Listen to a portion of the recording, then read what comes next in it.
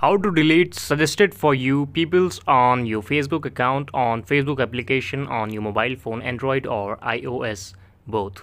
So for this you just need to open your facebook account here like i have opened it and you have to go on the three dots of right top corner screen and now we will go on settings and privacy option of the phone uh, and just scroll to the down.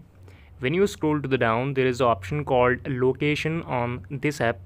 Just go to scroll down.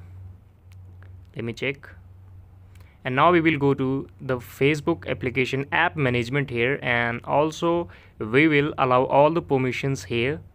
Present app permissions like calendar camera contacts locations etc we will allow all of them. And we will just deny them.